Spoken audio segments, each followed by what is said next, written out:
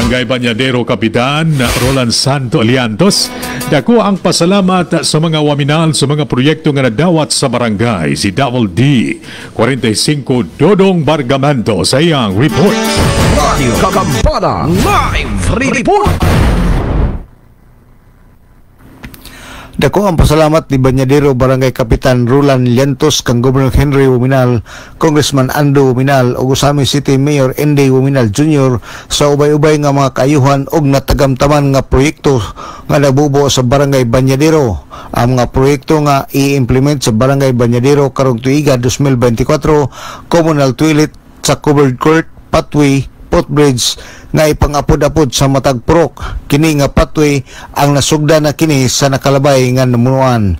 Kini nga proyekto sa 2023 pa kini nga budget sa 20% development fund sa barangay. Sa 2024 nagahin usab ang barangay og pundo para sa solar light ug dugang nga gigahinan sa barangay ang pagbutang og CCTV nga dugang sa pagmonitor sa kahusay ug kalinaw.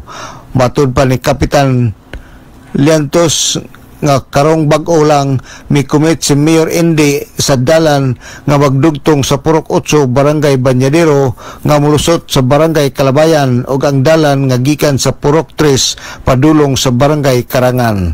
Tungod niini dako ang iyang pasalamat sa mga uminal nga grabe ka matinabangon og kugihan kay natakdan usab siya sa pagkakugihan alang sa DXDD Radyo Kampana ang radyo sa simbahan WD45 Dudong Bargamento Tanag Sarakbayan